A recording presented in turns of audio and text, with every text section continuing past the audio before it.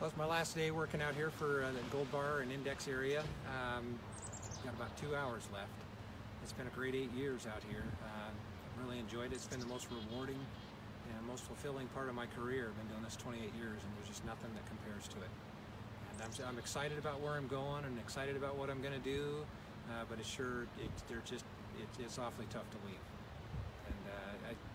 I've been working with Lieutenant Martin and uh, Captain Jeske to make sure that uh, whoever we get out here is going to be able to to pick it up and make sure that uh, that that they take this community forward and, and and just do good things out here and really do a lot to help the people out here to enjoy their quality of life and, and, and remember why they lived out here.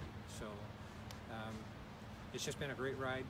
I've really had a lot of fun and uh, and I'm excited about you know what's to come. And so uh, to everybody, I'm going to miss you all. And uh, so long. I'll come out and visit once in a while though. Bye bye.